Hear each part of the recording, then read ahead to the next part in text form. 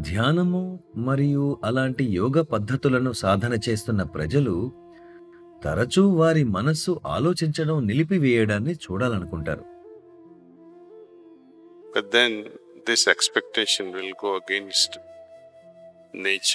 అప్పుడు వారు ఆశించినది ప్రకృతికి విరుద్ధంగా ఉంటుంది మీరు డాక్టర్ కనుక హృదయం పంపు చేయడానికి ఊపిరితిత్తులు ఆక్సిజన్ను కార్బన్ డయాక్సైడ్ను మరికొన్ని మనకు తెలియని వాటిని మార్పిడి చేస్తాయని మీకు తెలుసు.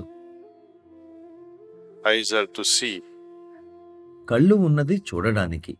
శ్వాసించడంలో మనకు కష్టంగా ఉన్నప్పుడు లేదా గుండెదడ లేదా చూడడంలో కష్టంగా ఉన్నప్పుడు ఈ సహజమైన పనుల్లో ఇబ్బంది కలిగినప్పుడు నాలోనే ఏదో లోపం ఉంది. వాటి పనిని వాటినే సహజంగా చేసుకోనిద్దాం అని మనం అనుకుంటాం. మనస్సు ఆలోచించడానికి ఉంది. ఈ ఆలోచనలో మనం కలుగు చేసుకోవద్దు. Let's not interfere with its thinking. కానీ మీరు చెప్పినట్లుగా నేను నా మనసుకి శిక్షణ ఇవ్వాలి నేను దేని గురించి ఆలోచించాలి అనుకుంటానో దానిపైనే నా మనస్సు ఆలోచించాలి అనుకుంటాం. సాధారణంగా ఏం జరుగుతుందంటే ప్రజలు రోజులో కొన్ని నిమిషాలు ధ్యానం చేసి ఆ కొన్ని నిమిషాల సమయంలోనే తమ మనస్సులను క్రమపరుచుకోవడానికి ప్రయత్నిస్తారు. కానీ మిగతా సమయం అంతా దాన్ని అలా వదిలేస్తారు. Trained child. చెడు శిక్షణ పొందిన పిల్లవాడు రోజంతా అల్లరి చేస్తూనే అటూ ఇటూ తిరుగుతూ ఉంటాడు. మీరు ఆ పిల్లవాడిని కొన్ని నిమిషాలు మౌనంగా ఉండలేవా అని అడిగితే అతడు తన కళ్ళు మూసుకొని రెండు నిమిషాలు కూర్చొని ఇంకా చాలా అంటూ స్ప్రింగ్లా గెంతుతాడు.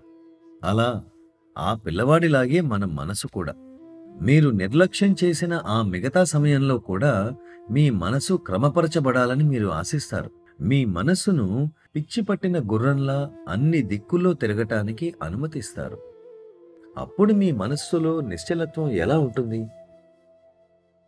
Now, a stillness of mind is easily possible through this Sahaj Marg meditation.